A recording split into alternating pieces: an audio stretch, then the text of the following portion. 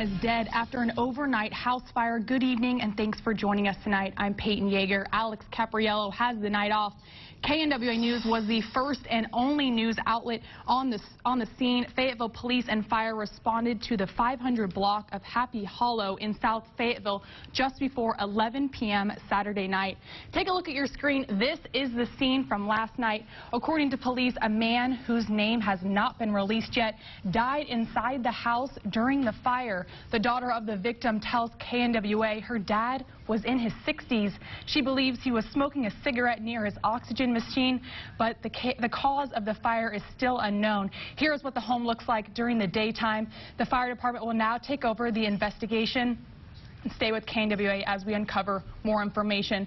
Also in Washington.